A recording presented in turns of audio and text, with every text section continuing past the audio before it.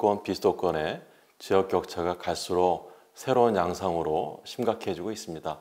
저는 이 지역 격차를 해결하기 위해서는 어, 중후장대형 산업으로 되어 있는 지역의 주요 산업들이 얼마나 빠르게 지식 산업으로 전환하는가가 가장 중요하다고 생각을 합니다.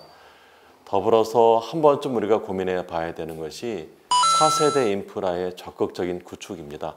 우리가 알고 있는 인프라는 주로 19세기나 20세기 초에 나와 있는데 미국의 조 바이든 대통령 취임 이후에도 미국의 그 부활을 위해서 차세대 인프라를 많이 얘기하고 있는데 우리나라에서도 특히 비수도권 지역에 이와 같은 새로운 인프라에 대한 논의가 앞으로 활발해지고 실제로 계획이 되고 투자된다고 하면 지역 격차 해결에 많은 도움이 되지 않겠는가 생각합니다.